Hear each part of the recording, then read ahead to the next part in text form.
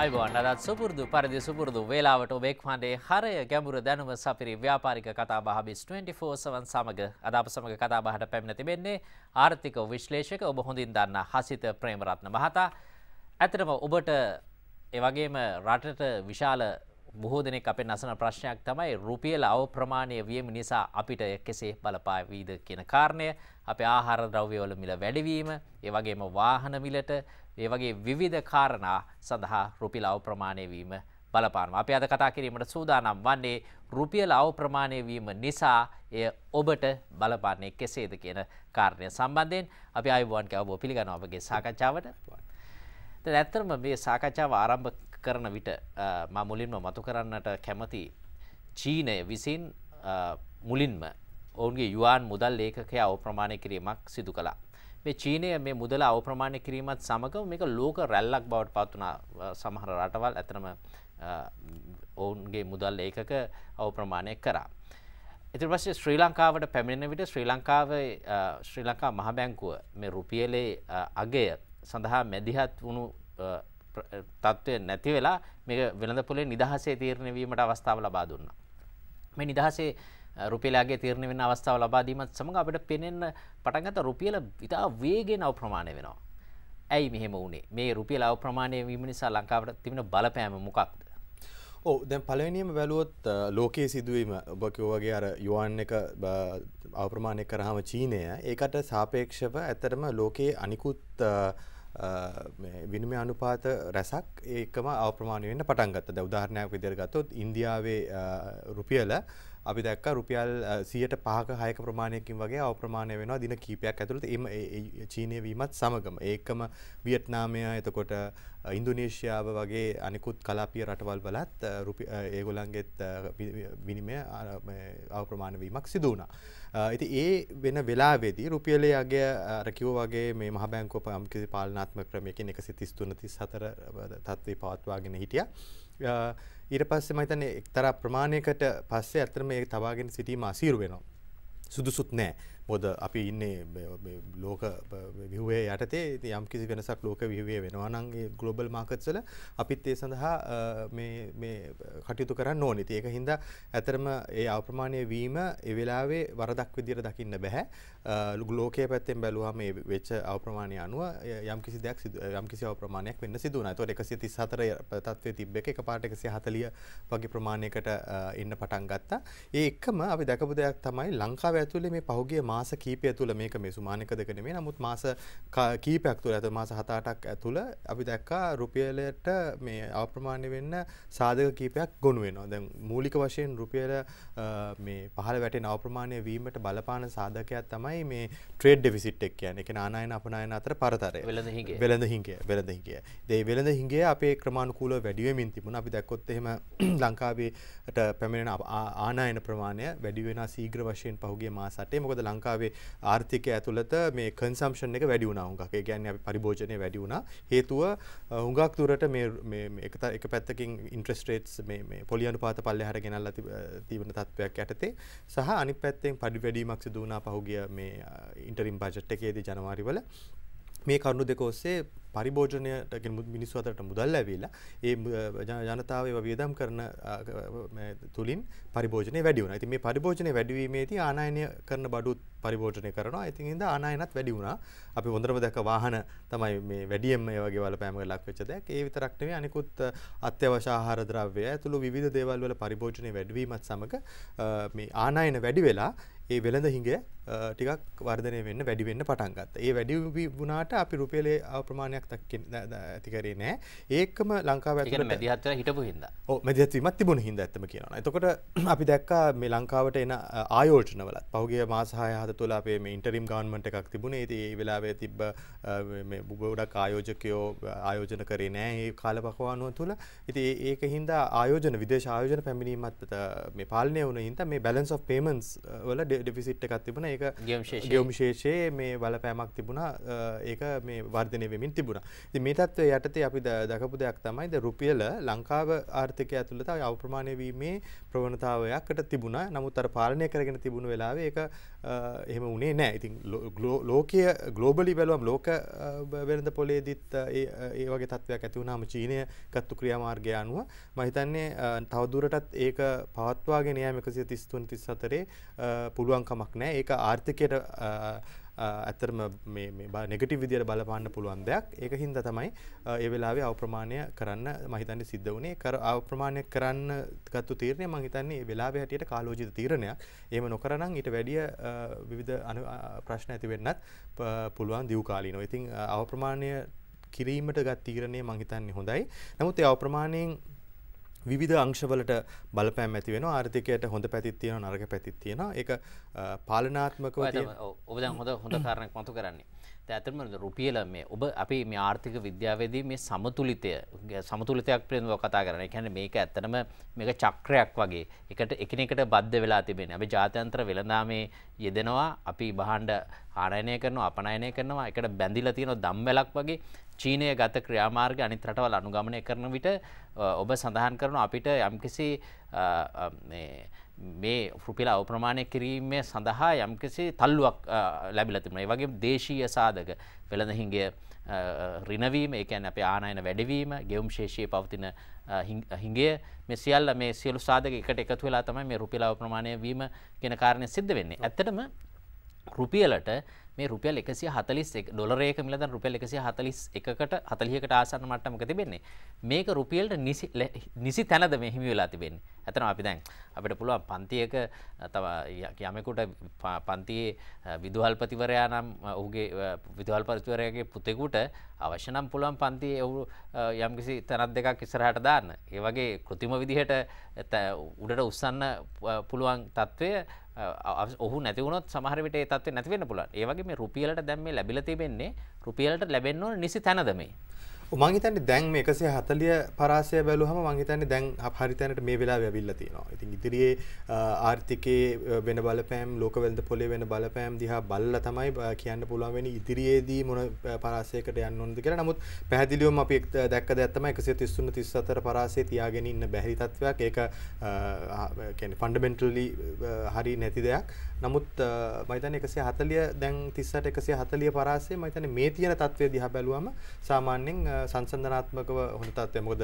ඉන්දියාව වගේ රටක සියට හයකින් පාකින් හයකින් වගේ මේ අප්‍රමාණය වුණා. එතකොට වියට්නාමේ ඉන්දුනීශයාව චීනය වගේ රටවල සියට තුනයි සියට පහයි අතර වගේ තමයි අප්‍රමාණය වෙලා තියෙන අපිත් සියට හතරක් පහක් වගේ තමයි අප්‍රමාණය වෙලා තියෙන්නේ. ඉතින් මම හිතන්නේ ඒ සංසන්ධනාත්මකව අ, හරි කියලා කියන්න පුළුවන්. එතුර හසිත දැන් මේ රුපියල අවප්‍රමාණය වීම මේක පැති දෙක තුනකින් බලන්න ඕන කාරණයක් දැන් සමහරු කැන බහන්ඩ ආනයනය කරනක විට ඒවායේ මිල වැඩි වෙලා අපි පරිභෝජනයකට බහන්ඩවල මිල වැඩි වෙන අපි ප්‍රවෘති හැමතැනම පලවෙනවට පේන පරිප්පු මිල ඉහලට සීනි මිල ඉහලට රුපියල අවප්‍රමාණය වීම නිසා මෙහම සිද්ධ වෙන්නේ වාහන මිල වැඩි වෙලා. තුර අපිට එක තැනක එක කෝනයකින් බලන කෙනෙකුට සිතන පුල අයු බලන්න රුපියල අවප්‍රමාණය විල වේව මාර ප්‍රශ්නයක් එක මාර ගැටලුවක්නේ කියලා. හැබැයි එක පැත්තකින් තව පාර්ශවයක් සතුටු වෙනවා. අපනයන කරන තේවල මිල ආදායම් වැඩි වෙලා තව තව අපනයන බහන්්ඩවල තින ආදායම් වැඩි වෙලා. එතුළ එක පැත්තකින් සතුරු වෙනවා. ඇතරම මේ දෙපැත්ත කැපෙන ආර්ථික ප්‍රශ්නය අපි කොහොමද හරියට මේක දිහා බලන්නේ? අපි කැමති අපේ ජනතාවට මේ පිළිබඳව හරි චිත්‍රයක් ඔබට ලබා දෙන්න පුළුවන් නම් ආර්ථික විශ්ලේෂකයෙක් විදිහට රුපියල අවප්‍රමාණය වීම කියන ප්‍රශ්නය අපි කොහොමද සාධාරණ ලෙස බලන්නේ? ඕ ඇත්තටම සාමාන්‍ය එක බොහොම සාමාන්‍ය දෙයක්. ඕනම රටක විනිමය අනුපාතය අවප්‍රමාණය වෙනකොට ඒ රටේ අපනයනකරුට ඒක වාසි තත්වයක් වෙනවා. මොකද ඔවුන්ට ලැබෙන ඩොලර් වලට වැඩි රුපියල් ප්‍රමාණයක් ලැබෙන හින්දා ඒ වගේම ආනයනය කරන පුද්ගලයාට ඒක ප්‍රශ්නයක් වෙනවා. මොකද ආනයනය කරන්න වැඩි රුපියල් ප්‍රමාණයක් ඕන වෙනවා. මොකද ඩොලර් ඩොලරේ අප්‍රමාණය වීම නිසා.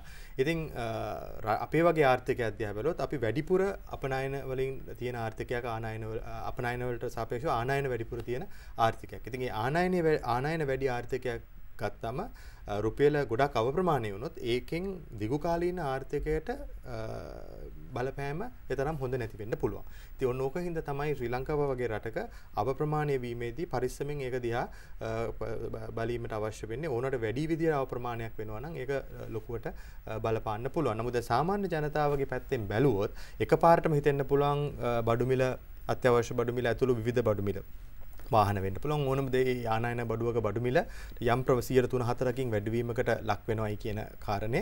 ඉතින් මම දකින විදිහට ඒක යම් ප්‍රමාණයක වැඩවීමක සියට තුනක හතරක වැඩවීමකට ලක් වෙන්න පුළුවන්.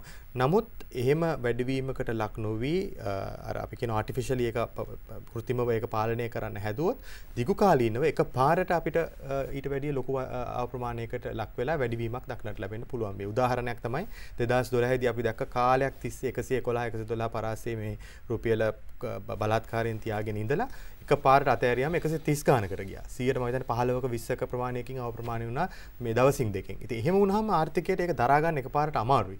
ඉතින් ඒ தત્ත්වය වලකින්න අපි අපේ ගිණුම් ශේෂය නෙගටිව් නම් එමන අපේ මේ ට්‍රේඩ් ඩෙෆිසිට් එකක් තියෙනවා නම් අපිට යම් ප්‍රමාණයක අවප්‍රමාණයක් බලාපොරොත්තු වෙන්න ඕනේ කියන එක ඉන මතේ තමයි මම ඉන්නේ. ඉතින් ඒම බැලුවම සාමාන්‍ය ජනතාවට ඇත්තටම මේකෙන් කෙට්ටිකාලීන පොඩි ප්‍රශ්නයක් දැනුණ වුණාට දිගුකාලින මහිතන්නේ ඒ ගැන ලොකුම ප්‍රශ්නයක් විදිහට දකිය යුතු නැහැ කියලා. අපි මද විරාමයක් ලබා ගන්නවා විරාමයෙන් පසු අපි නැවතත් සාකච්ඡාව සමග. විරාමයෙන් පසු ඔබ නැවතත් එක්වන්නේ හරය ගැඹුර දැනුම සපිරි ව්‍යාපාරික කතා බහ බිස් 24 සවන් සමග අද අප කතා බහ කරමින් තිබෙන්නේ ආර්ථික විශ්ලේෂක හසිත ප්‍රේමරත්න මහතා සමග. අපේ මාතෘකාව රුපියල අවප්‍රමාණය වීම මේ ඔබගේ ජීවිතයට ඒවගේ අපේ රට ආර්ථිකයට ඉතාමත්ම වැදගත් තීරණාත්මක මාතෘකාවක් දැන් ඇත්තරම දැන් ඔබ සඳහන් කළපු ඉතා වැදගත් කාරණයක් තමයි අපි ආනයනය කිරීම වැඩි නම් අපේ රටේ අප නෑනවලට වඩා දිගුකාලීන වශයෙන් රුපියල වැඩිපුර අවප්‍රමාණය වීම ඉතරම් අපට සුදුසු නැහැ කියන කාරණය ඔබ මතු කළා. දැන් ඇතරම දැන් අපේ රටේ ආර්ථිකය විචක්ෂණශීලී ලෙස හසුරුවන්නේ නැත්නම් අපේ වෙළඳ හිඟේ එන්න එන්න වැඩි වෙනවා නම් අපේ ගෙවුම් ශේෂය තරම් හොඳ නැත්තම් ඇත්තටම කෘතිම විදිහට මේක තියාගන්න බෑ. තියාගන්න පුළුවන්ද? මේ කොච්චර කාලයක් තියාගන්න පුළුවන්ද කෘතිම විදිහට පාලනය කරමින් රුපියලා? මේමයි. දැන් අපි වෙළඳ හිඟය කියන්නේ එක එක තැනක් පමණයි ගිනුම් ශේෂයේ තියද ගිනුම් ශේෂය දිහා බැලුවොත් වෙළඳ හිඟය අපේ වැඩි වුණා නම් අපනයන වැඩිවීම ඔස්සේ අනිත් පැත්තෙන් ඩොලර් රටට එනවා නම් අනිත් ක්‍රම වලින්. උදාහරණ විදියට දැන් ටුවරිසම් වලින්. එතකොට මොකද ඒක වෙළඳ හිඟය ඇතුලේ එන්නේ නැහැ. ඊළඟට අපේ මේ පිට රටවල වැඩ කරන කට්ටිය ඩොලර් ලංකාවට එවීම තුලින්. ඊට අමතරව මේ ඩොලර් වශයෙන් ආයෝජන අපි කියනවා මේ විදේශ ආයෝජන ෆොරින් ඩිරෙක්ට් ඉන්වෙස්ට්මන්ට්ස් ඊටත් අමතරව මේ විදේශ වලින් ගන්න ණය ආධාර ඔස්සේ ඩොලර් රට ඇතුළට එනවා. එතකොට ඒ එන ඩොලර් වලින් අර වෙළඳ හිඟේ පියවා ගැනීමේ ක්‍රමයක් තියෙනවා නම් එහෙම තමයි මම හිතන්නේ පහුගිය අවුරුදු කීපය දිහා බැලුවොත් එහෙමයි වෙලා තිබුණේ. ඒ ඔස්සේ ගිනුම් ශේෂය මේ පොසිටිව් සයිඩ් එකට අරන් තිබුණා. මේ ධනාත්මක අගයකට ඇවිල්ලා තිබුණා. ඉතින් එතකොට එහෙම තත්වයක් යටතේ ඇත්තටම රුපියල අවප්‍රමාණය වීම පාලනය කරන්න පුළුවන්. ඒ කියන්නේ රුපියල අවප්‍රමාණය වීම අවශ්‍ය නැහැ. මොකද වැඩිපුර ඩොලර් රටට එනවා. එලියට යනවට වැඩිය. ඒක තමයි මේ ගිනුම් ශේෂයෙන් කියවෙන්නේ. ඉතින් ඒ තත්ත්වය පාලනය කර ගැනීමට මම හිතන්නේ රජය පැත්තෙන් ගත්තොත් මේ වෙලාවේදී කෙටි කාලීනව කරන්න පුළුවන් දෙයක් තමයි මේ නැවතිලා තියෙන විදේශ ආයෝජන අපි දැක්ක පහුගිය මාස 7-8 තුල රටේ මාරු වෙලා ඉන්ටරිම් ගවර්න්මන්ට් එකක් ආපු වෙලාවේ ගොඩක් ආයෝජකයෝ පොඩ්ඩක් බලාගෙන ඉන්නවා මොකක්ද මේ හරියටම වෙන්න යන්නේ කියලා. ඒකම අපි දැකපු දෙයක් තමයි මේ මේ මේ චීනෙන් විශාල වශයෙන් විදේශ ආයෝජන සහ ණය ආපු කාලයක් තිබුණා රටට ඒ ඒව ටිකක් නතර වෙලා අඩු මේ තියෙන තත්ත්වයකට ඇවිල්ලා තියෙනවා. ඒව නැවතත් පටන් අරගෙන සක්‍රිය කරන්න වෙනවා මේ ප්‍රොජෙක්ට්ස්. එතකොට මම හිතන්නේ නැවත වරක් ලංකාවට එන ඩොලර් ප්‍රමාණය වැඩි වෙනකොට අපිට ඇත්තටම මේ ප්‍රමාණයේ රුපියල තබා ගැනීම ඕක නැත්නම් පොඩ්ඩක් ඊට වැඩිය මේ මේ අප්‍රීෂিয়েට් වෙන්න. ඒ කියන්නේ 137 38 ප්‍රමාණ වලට උනත් යන්න හැකියාවක් තියෙනවා. මේ අපිට දකින්න ලැබුණොත් තව වැඩිපුර විදේශ ආයෝජන ආයෝජන සහ විදේශ ණය යම් ප්‍රමාණයකින් වැඩිවීමක් එනවා මොකද ටුවරිසම් වලින් අපිට ඩෙෆිනි අනිවාර්යෙන් එනවා මේ සල්ලි වැඩිපුර රටට. අපි දකිනවා 110ක ප්‍රමාණ වර්ධනයක් විදේශ වලින් වැඩ කරන අයගෙන් එන මුදල් දිහා බැලුවොත්. ඉතින් අර විදේශ ආයෝජන පැත්තෙන් මේක මේ වැඩිපුර ටිකක් එන එන්න පැත්තක් තියෙනවා නම් මම හිතන්නේ රුපියල නැවතත් මේ තත්ත්වේ පවත්වාගෙන යන්න පුළුවන් වෙයි. ඒකයි මම කිව්වේ අර 138 40 කියන පරාසය සාමාන්‍යයෙන් හොඳ පරාසයක් විදිහට මම දකිනවා දැනට තියෙන ආර්ථිකමය තත්ත්වය දිහා බැලුවම. අතුරු හසිත අපේ ගොඩක් වෙලාවට ජනතාව දැඩි උද්‍යෝගයක් දක්වන කාරණයක් තමයි වාහන මිල. දැන් මේ වර්තමාන රජය වෙළඳ දැන්වීම් පවා පළ කරලා තිබුණා මේ මේ ආණ්ඩුව මෙවැනි ආණ්ඩුවක් આવොත් ඔබට ඉතා අඩු මිලට වාහනයක් ගන්න පුළුවන් මෝටර් බයික් එක යන කෙනෙකුට කාර්යයක් ගන්න පුළුවන් මෙවැනි කාරණා මේ සමාජ ජාලවල දැන් ඉතාමත්ම ජනප්‍රිය කතාවක් තමයි මෙහෙම කියපු ආණ්ඩුව මේ වන විට කල්බදුවලට සීයට සියක් අලුත් වාහනවලට කල්බදු පාසුකම් ලබා දෙන්න එක සීට හැත්තෑවකට අඩු කර. එතකොට වාහන සඳහා යම් යම් සීමාවන් නැති කර. මේ නිසා අපිට වාහනයක් ගන්න බැරිතත්වයකට අපිව පත් කරා කියෙන කාරණය. ඇතන මේ රුපියල අවප්‍රමාණය වීම මේකට බැඳියාවක් තිබෙනවා. ඔබ සඳහන් කලා පහුග කාලේ වාහන විශාල් ප්‍රමාණයක් ලංකාවට පැමිණීම නිසා අප ආනයන වැඩි වුණනා කියෙන කාරණය. ඇතුර මේ රජය ගරිපු මේ තීරණයත් රුපිල අවප්‍රමාණය වීමත් අතර සම්බන්ධය බොකොහොමද පැහදිලි කරන්න. මෙහෙමයි. දැන් රටට මේක දෙපැත්තක් තියෙනවා. එකක් තමයි අපේ බැලුවොත් එහෙම මේ වාහන වැඩිවීම මූලික වශයෙන් සිදුවනේ මේ දැඩි ලෙස නයට මුදල් ලබා ගැනීම මොද පොලි අනිපාත සියට නමයකට අටකට දහයකට වගේ ප්‍රමාණයට අඩුවෙනකොට ගොඩක් අය බැංකුවට කියලා ලෝන එකක් ගන්නවා. සම්පූර්ණ වාහනේ මේ වැලිුව එකම නයට ගන්නවා. අරගෙන ඉතින් තමන් කියක්වත් තමන්ගේ සල්ලි කියන එක දාන්න නැතුව සම්පූර්ණයෙන් ණයට අරගෙන මේ ණය වෙලා තමයි වාහනේ අරගන්නේ. ඉතින් ඕනවට වැඩිය රටක මේ පුද්ගලයෝ ණයට බඩු ගන්නගෙන ජීවත් වෙන්න පුරුදු වෙනකොට ඒක මේ ප්‍රශ්නයක් ඇති වෙන්න පුළුවන් දිගු කාලෙනේ. ඉතින් රජය පැත්තෙන් බැලුවම මම හිතන්නේ එක පැත්තකින් ඒක පාලනය කිරීමක් කිරීමත් අවශ්‍ය වෙනවා. මොකද ඇමරිකාවේ අපි දැක්කා 2009 වර්ෂය වෙනකොට මේ තත්ත්වය ඉතාමත්ම දරුණු තත්ත්වයකට ගිහිල්ලා අර ක්‍රෙඩිට් බබල් එකක් කියලා කිව්වේ. ඒක පුපුරුවා. බුබුලක්. ඔව් ණය බුබුලක් ඇවිල්ලා ඒක මේ ප්‍රශ්නයක් වුණා. අපේ රටේ තාම එහෙම තත්ත්වයක් නැහැ. එහෙම තත්ත්වයකට යනවා නම් ටිකක් පරිස්සමෙන් බලීමේ අවශ්‍යතාවය තියෙනවා. ඉතින් ඒක පාලනය කිරීම එක දෙයක්. අනිත් පැත්තෙන් බැලුවොත් එහෙම වාහන මේ ණයට අරගෙන මේ වාහන ගෙන්නලා ගැනීම නිසා අප ආනයන වැඩි වෙලා රුපියල අවප්‍රමාණය වෙන තත්ත්වය දකිනකොට ඒක පාලනය කිරීමත් යම්කිසි ප්‍රමාණයක් කෙටි කාලෙම අවශ්‍ය වෙනවා. මම හිතන්නේ මේ දෙකේම සන්තුලනයක් විදිහට තමයි මේ අර 130ක් 170කට සීමා කරේ ණය භාවිතා කරන ප්‍රමාණය. මම හිතනවා මේ මේ తත්වය ඇත්තටම හොඳ ප්‍රවණතාවයක් කියලා කෙටි කාලිනව සාමාන්‍ය සමාජයේ ඉන්න ඔබ කියන්නේ කෙටි කාලින ප්‍රවණතාවයක් වෙන්න පුළුවන් කියලා. සමාන පුද්ග සාමාන්‍ය පුද්ගලයෙකුට ඒක ප්‍රශ්නයක් විදිහට දකින්න පුළුවන් කෙටි කාලිනව. නමුත් ඔහු බලන්න ඕනේ ඔහුටත් හොඳයි ඒක. මොකද ඔහු නැත්තම් ණයකාරයෙක් වෙනවා. ලොකු නායකාරයෙක් වෙනවා. තක් කොහොමත් ටිකක් නායකට නායක අරගෙන කරාට කමන්නේ තමන්ට දැරීමට හැකි ප්‍රමාණයට ගෙවන්න. නමුත් විශාල වශයෙන් ණය අරගෙන මේ මේ පරිභෝජනය කරන්න ගත්තාම ඒක ආර්ථිකයටත් ප්‍රශ්නයක් තමන්ටත් ප්‍රශ්නයක්. ඉතින් ඒකින්ද ඒක මම හිතන්නේ නරක විදියක් විදිහට දකින්න දකින්න හොඳ නැහැ. කෙටි කාලේ තමයි දැනෙන්න පුළුවන් ඒ විදිය. නමුත් සාමාන්‍ය පුද්ගලෙක් විදිහට එහෙම හිතීම එච්චරම සුදුසු දෙයක් විදිහට මම දකින්නේ. අපි මොද විරාමයක් ලබා ගන්නවා. විරාමයෙන් පසුව නැවතත් සාකච්ඡාව සමග. විරාමයෙන් පසුව ඔබ නැවතත් එක්වන්නේ BIS 24 7 කතා බහ සමග අද අප සමග කතා බහේ සිටින ආර්ථික විශ්ලේෂක හසිත ප්‍රේමරත්න මහතා. අපි කතා කරමින් තිබෙන්නේ රුපියල අවප්‍රමාණය වීම සම්බන්ධයෙන්. අපේ සාකච්ඡාවේ අවසාන භාගයට හසිත අපි පැමිණ තිබෙනවා. දැන් ඇත්තටම ලෝක වෙළඳපොලේ මේ වෙනකොට කනිජ තෙල් මිල විශාල වශයෙන් ඒ කියන්නේ සැලකිය යුතු මට්ටමට පහළ යමින් තිබෙනවා. කනිජතෙල් අමාත්‍යවරයා අලුත් කනිජතෙල් අමාත්‍යවරයා සඳහන් කරලා තිබුණා මේ මිල පහළ දැමීමටත් යම්කිසි සූදානමක් තිබෙනවා කියලා පස්සේ ඒක පොඩක් කල්ගත වෙන බව තමයි පේන්න තිබෙන්නේ. ඇතර මේ කනිජතෙල් මිල පහළ දැමීම තවදුරටත් මේ රුපියල ප්‍රමාණය වීමත් එක්ක මේ කොහොමද ඔබ දකින්න මේ ප්‍රශ්නය. ඕ ඇතරම ලෝක වෙළඳ පොලේ තෙල් බැරයක මිල විශාල වශයෙන් පල්ලහටීමක් අපි දැක් ඇතරම මේ හැට පහක් බැරලයකට තිබුණ ඩොලර් හැට පහක් වගේ ඒක පල්ලහට ඇවිල්ලා තිබුණ හතලියක් වගේ ඇවිල්ලා දැන් හතලිස් පහ ප්‍රමාණයට වගේ ඇවිල්ලා ඒ හරිය ටිකක් දියු කාලේ තියෙන තත්ත්වයක් තමයි පේන්න තියෙන්නේ. ඉතින් මේ අඩුවීම බැලුවොත් එමෙ ඇත්තම විශාල අඩුවීමක්. ඒ කියන්නේ 130 ගානක විතර අඩුවීමක් දැක්කම කෙනෙක්ට අහන්න පුළුවන් ඇයි මේක අපිට මේ ලැබුණ නැත්තේ කියලා. මොකද ජනවාරි වල අපි දැක්ක පැහැදිලිව මේ අලුත් රාත්‍රිය ආව ගමන් යම් කිසි අඩු කිරීමක් කරා. මෙතන 115ක විතර වගේ අඩු කිරීමක් කරා ඒ වෙලාවේ.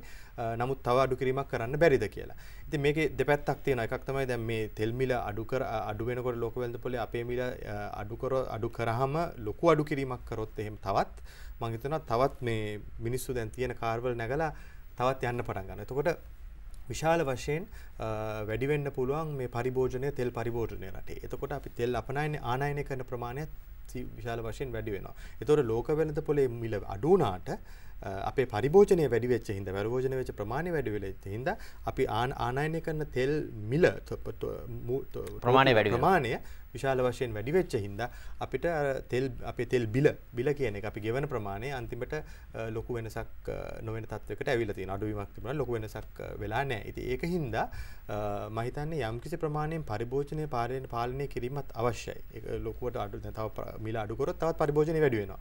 ඉතින් ඒක පාලනය කිරීම අවශ්‍ය වෙනවා. ඉතින් ඒ ඒ ඒ වෙලාවේදී රුපියල අප ප්‍රමාණය වීම තුලින් නැවත වරක් මහිතන්නේ තවත් ටික ආනයනය කරන ඒ මිල මිලි ආනයන මිල වැඩි වෙනවා රුපියල ප්‍රමාණය වීම තුළින් ඒ ඔස්සේ ලංකාවේ රුපියල තවත් ලංකාවේ තෙල් මිල තවත් අඩු කිරීමට රුපියල් වලින් අඩු කිරීමට තියෙන හැකියාව තව ටිකක් අඩු වුණා කියන තත්ත්වයක් තමයි පේන්නේ. ඉතින් ලෝක වෙළඳ පොලේ තෙල් මිල මේ තත්ත්වේ පවත්වාගෙන යන බව පේනවා. නමුත් මං දකින විදියට අපි විශාල වශයෙන් අඩු කිරීමක් මේ වෙලාවෙදිදි කරන්න හැකියාවක් නෑ මොකද ඒක රුපියලා ප්‍රමාණය වීමත් පරිභෝජනය පාලනය කිරීමත් කියන කාරණා දෙකම බලල තමයි රජයට මේ දේ කරන්න සිටිය. අපේ කාල වෙලා ඉතාමත්ම සීමිතයි හසිද අපි අවසන් වශයෙන් දැනගන්නට කැමති දැන් රුපියල අවප්‍රමාණය වීම නිසා දිගුකාලීනව සමස්තයක් ලෙස කොහොමද බලපාන පුළුවන් ආර්ථකයට.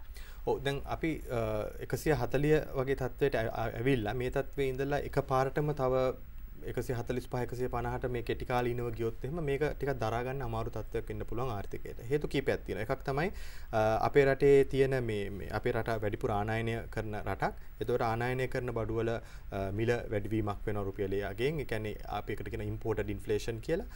ඒ එහම වැඩිවීම තුළින් අත්‍යවශ්‍ය බඩුවල මිල වැඩිවීම ප්‍රශ්නයක් වෙන්න පුළුවන්. ඒක පලන එක. දෙවනි එක අපේ රටේ මේ මේ නය බැලුවොත් එහෙම අපි ගොඩක් විදේශනය අරගෙන තියෙන සී හතලිස්වනක වගේ ප්‍රමාණයක් නයරන්තියන විදේශනය ඉතින් අපි ඩොලර් වලින් තමයි ඉන්ට්‍රස්ට් ගෙවන්න ඕනේ මේවට මේ පොලි ඕනේ. එතකොට ඒ පොලිය ගෙවනකොට අපිට වැඩි මුදල් ප්‍රමාණයක් යනවා ඒකට. එතකොට ඒ තුලින් අපේ අයවැය පරතරයටත් වැඩිවීමක් සිදු වෙනවා දිව කාලීන මේ තත්ත්වය ඇති වුණොත්. ඒකින්ද තමයි අර මම කිව්වේ 140 වගේ ප්‍රමාණය මේක රඳවා ගැනීම රඳ වෙලා තියෙනවා නම් ඒක හොඳ තත්ත්වයක්. ඕක 145 150 වගේ ප්‍රමාණයට යන්න ගත්තොත් එහෙම ඒ අර අයවැය පරතරයට ඇති වෙන බලපෑම ඒ වගේම උද්දමනයට ඇති වෙන බලපෑම රටේ ටිකක් දරා ගන්න අමාරු වෙන්න පුළුවන්. ඒකින්ද දිව කාලීනව බැලුවොත් එහෙම මා ඉස්සෙල්ල කිව්ව මේ ප්‍රමාණයට අප්‍රමාණය වීම නම් හොඳයි කියලා. ඒ කියන්නේ තත් තත්ත්වය තරමක් හොඳයි කියලා. නමුත් මම ඒකම කියන්න ඕනේ දෙයක් තමයි මෙතනින් එහාට ලොකු අප්‍රමාණයක් කෙටි කාලීනව වුණොත් ඒ තත්ත්වය එච්චර හොඳ නැහැ. මේ තත් මේ ප්‍රමාණය තිවා ගැනීම සඳහා රජයට කෘතිම බලහත්කාරයෙන් මේ තියාගන්න ගැන බැංකුවට කතා බැංකුවලට කතා කරලා කෝල්ස් දීලා සෙන්ට්‍රල් බැංක් එක පාලනය කරන එක නෙමෙයි මම කියන්නේ එහෙම ඒක හොඳ නෑ. නමුත් අපනයන වැඩි කරලා යම් ප්‍රමාණවලකින් ආනයන පාලනය කරලා මේ මේ මේ ට්‍රේඩ් ඩිෆිසිට් එක පාලනය කිරීම සහ විදේශ ආයෝජන විශේෂ වශයෙන් විදේශ ආයෝජන හා විදේශ ඩොලර් ණය ඔස්සේ හෝ අරගෙන ඇවිල්ලා ඉන්වෙස්ට් කරන්න පුළුවන් නම් රටේ මම හිතන්නේ ඒ අව ප්‍රමාණය වීම පාලනය කරගන්න මේ තත්ත්වේ පවත්වාගෙන යන්න හැකි වෙනවා. එහෙම වුණොත් දිගු කාලීනව මම හිතන්නේ නැවත වරක් අපිට ලබන අවුරුද්ද 100ට 2 3ක 104ක ප්‍රමාණයක් වුණාට කමක් නැහැ. මම කියන්නේ එක වෙලාවේ ලොකු ප්‍රමාණයක් ගියොත් ඒක දරා ගැනීම ප්‍රශ්නයක් වෙන්න පුළුවන් ආර්ථිකයට. අවසාන වශයෙන් අපි දැනගන්නට කැමති අපි මෙතෙක් කතා කළා මේ රුපියලේ තියෙනවා මේ ගැනුම් මිල සහ විකුණුම් මිල කියලා දෙකක්. මොකක්ද මේ දෙක? ඔව් ඒක මේ බැංකුව පැත්තෙන් බලුවම දැන් බැංකුව ඩොලර් ගන්නවා නම් ඔපින් ඩොලර් ගන්නවා නම් බැංකුව ඒක තමයි ගැනුම් මිල කියලා කියන්නේ. විකුණුම් මිල කියලා කියන්නේ බැංකුව විකුණන මිල. එතකොට මේ දැන් අපි හැම වෙලේම දකින පරාසයක්. ඒ කියන්නේ දැන් අපි කිව්වට 140යි කියලා. ඇත්තටම බැංකුවට ගිහිල්ලා ඔබ බැංකුවෙන් ඩොලර් ගන්න ගියොත් ඒ කියන්නේ බැංකුව විකුණනවා නම් ඩොලර් ඒ විකුණුම් මිල ටිකක් 143ක් වගේ ප්‍රමාණය වැඩි ප්‍රමාණයක් දකින්න ලැබෙනවා. ඒක 138ට අනිත් මිල තියෙනවා. ওই දෙක අතර තියෙන මධ්‍ය අගය වගේ තමයි. කියන්නේ මැද මැද ප්‍රමාණය වගේ තමයි මේ 140 වගේ කියලා අපි සාමාන්‍යයෙන් සාමාන්‍ය ව්‍යවහාරයේ 140ට ගියා 140කට ගියා කියලා කියන්නේ මේ මධ්‍ය අගයට. ඒක දැන් ගොඩක් වෙලාවට මේ අපිට ජීවිතේ සාමාන්‍ය මිනිස්සුන්ට බලපාන්නේ ওই දෙකෙන් මොකක්ද වැඩිපුර විශේෂයෙන්ම දැන් ආනයනකරුවන් ඩොලර් මුදල් වෙළඳපොළට ගිහිල්ලා මිලදී ගන්නව නම් ගොඩක් වෙලාවට ඒ විකුණුම් මිල කියන අගේ මත ඉඳලද ආනයන උන්ගේ ආනයන මිල තීරණය වෙන්නේ. මෙහෙමයි. දැන් ගැනුම් විකුණුම් මිල බැංකුව ප්‍රදර්ශනය කරනකොට ඒක අපි 138යි 43යි කියලා පෙන්නුවාට කාර් එකක් ගේන්න ගියාම සාමාන්‍යයෙන් ගන්න විකුණුම් මිල 143ම වෙන්නේ නැහැ. ඊට වැඩිය ටිකක් ළඟ පරාසයකට තමයි ඔය මධ්‍යගයට කිට් වෙනවා. නමුත් මධ්‍යගයට හරියට මෙන්නේ නැහැ. නමුත් මධ්‍යගයටත් වැඩිය ටිකක් 140 40යි නම් මධ්‍යගයේ 140 50ක 140යි 41ක් වගේ වෙන්න පුළුවන් සාමාන්‍යයෙන් විකුණුම් මිල කියන එක. ඉතින් සාමාන්‍යයෙන් ගත්තොත් එහෙම සාමාන්‍ය මිනිස්සුන්ට ආනයන බලාපොරොත්තු වෙනාට 141 තමයි බලපාන්නේ. හරි බොහොම ස්තුතියි අපගේ සාකච්ඡාවට පැමිණීම සම්බන්ධයෙන් අපි අද කතා කළේ රුපියල අවප්‍රමාණය වීම සම්බන්ධයෙන් මේ දිනවල බොහෝ කතා බහට ලක් වෙන කාරණයක්. අපි කතා කළේ ආර්ථික විශ්ලේෂක හසිත ප්‍රේමරත්න මහතා සමග අද BIS 24 සවන් සාකච්ඡාවෙන් අපි සමුගන්නවා මෙවැනිම සාකච්ඡාවකින් යළිත් හමු වෙමු.